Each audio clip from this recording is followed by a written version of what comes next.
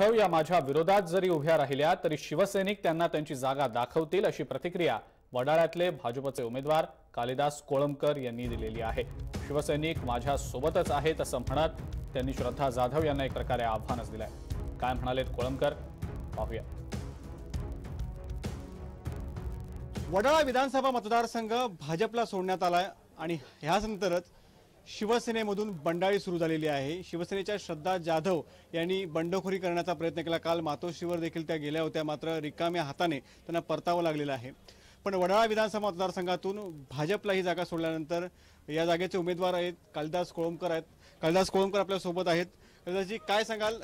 काँग्रेस आणि आता भाजपमधून तुम्ही आता ही निवडणुकीला सामोरं जात आहे कसं आव्हान आहे? काय सांगू शकाल तुम्ही? तर आव्हानाच्या बाबतीमध्ये एकोणीसशे नव्वदपासून नायगाव विभागामध्ये मी आमदार आहे. त्याच्यामुळे अनेक आव्हानं मी पाहिली आहेत. आणि त्या आव्हानांना उत्तरं पण मी दिली आहेत. त्याच्यामुळे उद्याची जी निवडणूक आहे त्यामध्ये आज बी जे पी शिवसेना युतीमध्ये मी आज आहे. B J P B J पीतर्फे मला उमेदवारी देण्यात आली आहे.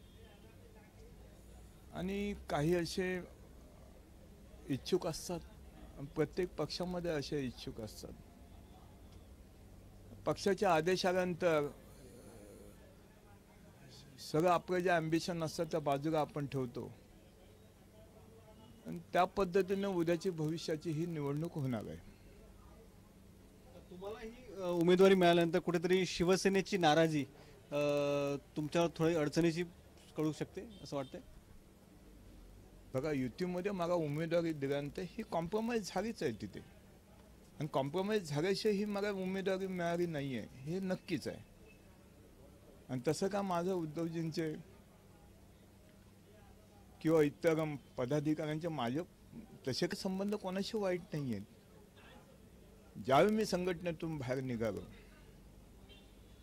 कधी संघटनेच्या बाबतीमध्ये माझ्या मुखातून एखादा वाईट शब्द कधी निघाला नाही. आणि भविष्यामध्ये सुद्धा निघणार नाही. त्यामुळे मंगेश बेंडलसह शैलेश तवटे जय महाराष्ट्र मुंबई.